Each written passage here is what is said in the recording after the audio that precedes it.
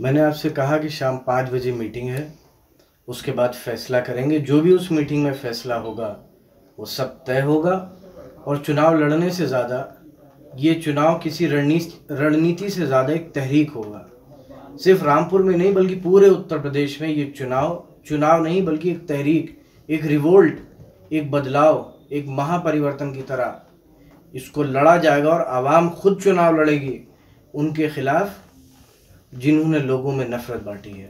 Samajwadi party ने चुनाव का बहिष्कार किया था, लेकिन अखिलेश यादव जी की अपील के बाद उन्होंने जिस एहसास के साथ ये भरोसा जताया है, उनके हर फैसले, उनका हर फैसले का यहाँ एहतराम होता है और आज से ही नहीं, अखिलेश यादव जी से पहले जब माननीय मुलायम सिंह यादव जी थे, तब भी रामपुर ने हमेशा उनके हर फैसले का एहतराम किया।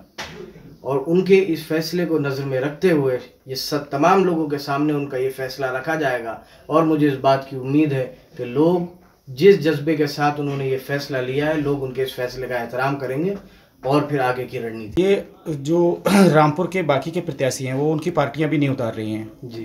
तो अभी तक ये बात आ रही है कि कुछ लोग बहिष्कार कर रहे हैं। हम्म। तो उसका कुछ फ़ायदा मिलेगा समाजवादी पार्टी का? कौन बहिष्कार कर रहा है? मैं भारतीय जनता पार्टी में भीतर अंदरूनी भीतर भारतीय जनता पार्टी वाले अपनी नीतियों की वजह से अपनी नीयत की वजह से अपने मुद्दों की वजह से और अपनी हार को देखते हुए अगर किसी बहिष्कार का फैसला कर रहे हैं तो बहुत अच्छी बात है करें। क्योंकि वो खुद भी जानते हैं कि चुनाव में जाने के बाद उनका अंजाम क्या होगा। और जनता ढूंढेगी पंद्रह लाख। नौजवान ढूंढेगा दो करोड़ रोज़गार हर साल। लोग पूछेंगे कि नीरव मोदी, मेहुल चौकसी और विजय माल्या कैसे भागे? लोग सवाल करेंगे कि एक के बदले दस सर लाने वाले, एक के बदले दस सर लाने वालों की बात कहने वालों के इस पूरे पाँच साल के शासनकाल में हमारी सेना के साथ, हमारे जवानों के साथ क्या हुआ? लोग सवाल करेंगे इन चीज़ों का। क्या क्या अच्छे और लोग एक चीज़ और ढूंढेंगे और पूछेंगे कि बताइए मोदी जी अच्छे दिन कब आएँगे? आएँगे भी या नहीं आएँगे? बनारस के तो आए नहीं देश के पता नहीं कब आएँगे। किन मुद्दों के साथ समाजवादी पार्टी जाएगी? मुद्दे साफ़ है हर चीज़ साफ़ है। समाजवादी पार्टी नहीं बल्कि देश चुनाव में जाएगा बेरोजगारी के नाम पर महँगाई के नाम पर आतंकवाद के नाम पर। और आतंकवाद के नाम पर इसलिए जाएगा क्योंकि एक जंग है राष्ट्रवाद कि कौन राष्ट्रवादी है और कौन देशद्रोही है। लेकिन ये फैसला कब होगा? ये फैसला तब होगा जब हम रैलियों में खड़े होकर कहें कि हमने इतने मारे, उतने मारे, और ये बात कौन कहता है? एक विशेष राजनीतिक दल जो ये दिखाना चाहता है कि कुर्बानी उनकी नहीं, सेना की नहीं, बल्कि उनकी है, जो सेना का राजनीतिकरण करना चाहता है। वो लोग चुनाव पर कहते हैं, जिसके लिए आरएसएस ने, जब आरएसएस ने ये कहा कि देश की सेना को सरहदों पर पहुँचने के लिए तीन महीने चाहिए और हम तीन दिन में पहुँच जाएँगे।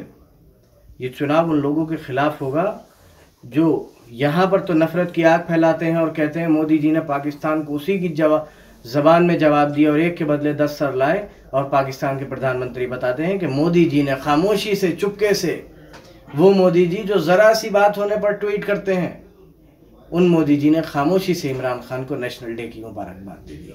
ये देश ऐसी दोगली सरकार के खिलाफ, बेरोजगारी के खिलाफ, महँगाई के खिलाफ, भ्रष्टाचार के खिलाफ चुनाव का आगाज़ करेगा। गुजरे हुए वक्त के यहाँ पर जो वाक़ात हुए, वो सब आपको मालूम है। उसके बाद इस बात का फैसला लिया गया था कि समाजवादी पार्टी रामपुर और यहाँ की पूरी इकाई लोकसभा चुनाव का बहिष्कार करेगी। क्योंकि इस बात के इम्कान भी थे और इस बात की पूरी उम्मीद भी थी और है भी कि यहाँ पर जो मौजूदा अधिकारी हैं, जो पूरा प्रशासन यहाँ काम कर रहा है, वो एक ख़ास मकसद से आया है, एक ख़ास एजेंडे के, एक ख़ास एजेंडे को लागू करने के लिए आया है और उसका मकसद है कि भारतीय जनता पार्टी को यहाँ से चुनाव जिताया जाए और माहौल ख़राब किया जाए।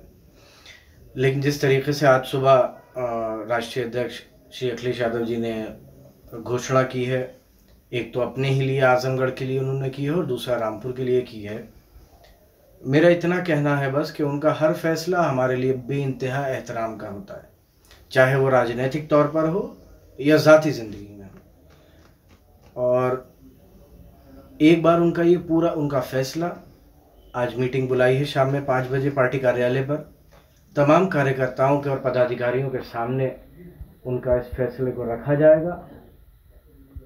और उसके बाद लोग ये तय करेंगे कि क्या फैसला लेना है, चुनाव लड़ना है या बहिष्कार करना है। लेकिन मैं ये बात इसमें ज़रूर जोड़कर चलूँ कि अखिलेश यादव जी के हर फैसले का पहले भी एहतराम हुआ है। हर फैसले का पहले भी एहतराम हुआ है।